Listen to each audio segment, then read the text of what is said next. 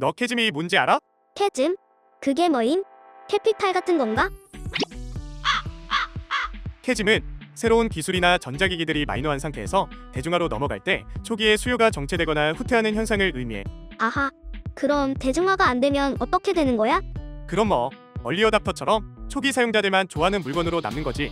VR이나 세그웨이 같은 게 그런 대표적인 예인 거야.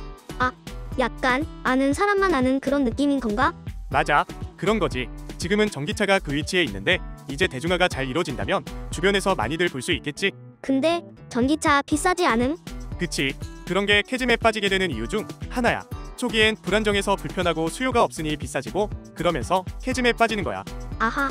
이제 캐즘이 뭔지 잘 알 것 같아.